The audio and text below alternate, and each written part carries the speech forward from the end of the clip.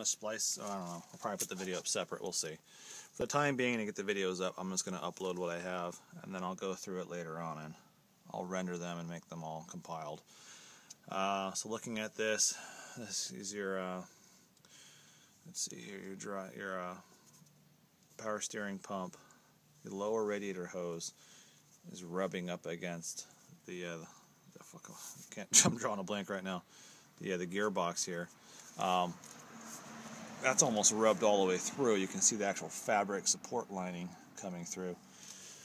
Uh, so when you get this, make sure that this braided portion is actually pushed all the way up to where it's supposed to be to cover that and prevent it. They tend to slide down. Um, look at buying another wrap or something. Uh, but when you go through yours, verify that when you reinstall this, it's pushed up. I gotta replace this hose simply because it's damn near all the way worn through from just rubbing up against that um, from vibrations. So that's got to be done.